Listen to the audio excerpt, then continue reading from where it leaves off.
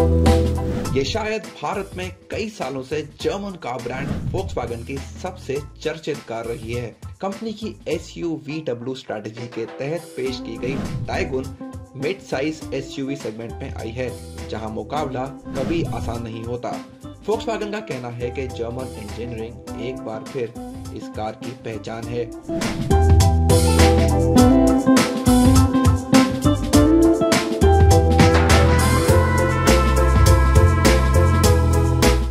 अपनी कार के बारे में अगर फोक्स के मालिकों को एक चीज़ सबसे ज़्यादा पसंद आती है, वो होती है उसकी बिल्ड क्वालिटी उन्हें इस बात का पूरा भरोसा रहता है कि जो कार उन्होंने चुनी है, वो सबसे ज़्यादा सेफ़ है। लेकिन बड़ा सवाल यह है, क्या नई मेड इन इंडिया टाइगुन उस भरोसे को कायम रखती है?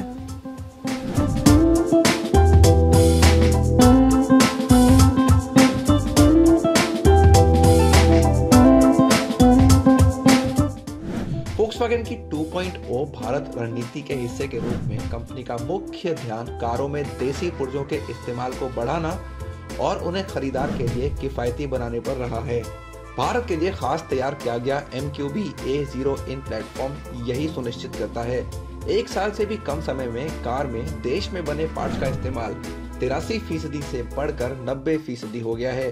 फोक्स का कहना है कि प्लेटफॉर्म सभी यात्रियों के लिए बेहतर सुरक्षा देता है।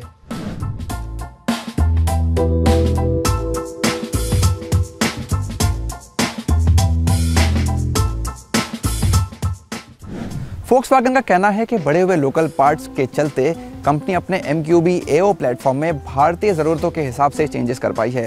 लेकिन साथ ही साथ जो कड़े सुरक्षा नियम हैं ग्रुप के, उनका भी पालन पूरी तरह किया गया है। M Q B A O in monocoque को ज़्यादा कठोर बना दिया है, जिसकी वजह से वो जो बिल्ड क्वालिटी का एहसास है, वो इस एस में भी बरकरार रहता है।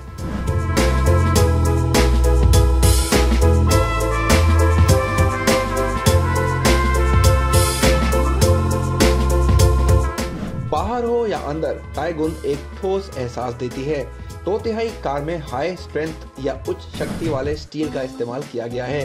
महज दरवाज़ा बंद करने पर ही आपको इसका अंदाज़ा हो जाएगा। मनीला अलॉय व्हील्स हो या स्पोर्टी बम्पर्स हर चीज़ कार को और दमदार बनाती है। ये सब एक बढ़िया डिज़ाइन से शानदार तरीके से मेल खाता है। यकीनन टाइगुन अंदर से सख्त और बाहर से खूबसूरत लगती है।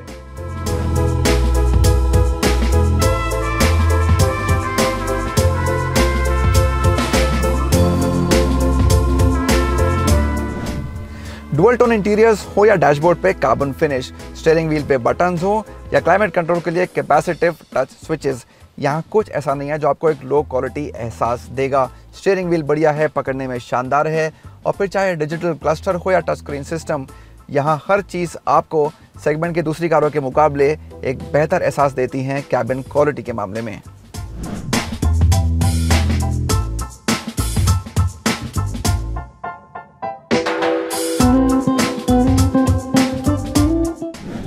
को 40 से ज़्यादा सेफ्टी फीचर्स मिले हैं और हमें फोक्सवागन से यही उम्मीद थी। मल्टी कोलिजन ब्रेक्स हो या हर यात्री के लिए तीन पॉइंट सीट बेल्ट या फिर आइसोफिक्स माउंट्स ये सभी स्टैंडर्ड हैं। फिर आपको टॉप ट्रिम पर छह एयरबैग्स मिल जाते हैं और सब कुछ यही आश्वासन देता है कि आप एक ऐसी कार चला रहे हैं जो सड़क पर चल रही ज़्यादातर कारों से बेहतर सुरक्षा देती है।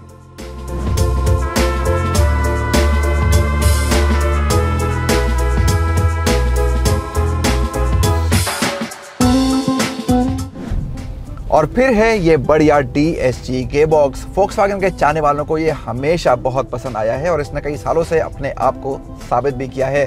अगर आपको कार चलाने में मज़ा आता है तो आपको इससे कोई शिकायत नहीं होगी। टाइगोन की बढ़िया बिल्ड क्वालिटी का एक और शानदार सबूत। जहाँ तक मजबूती की बात है, किसी भी सेगमेंट की तरह यहाँ भी वॉक्सवैगन को हराना आसान नहीं है। नए प्लेटफॉर्म ने ग्राहक और कंपनी दोनों के फ़ायदे का काम किया है। इसने एक ऐसी कार दी है जो सख्त तो है, लेकिन ज़्यादा छोटे पार्ट्स के साथ मेंटेन करने में भी आसान है।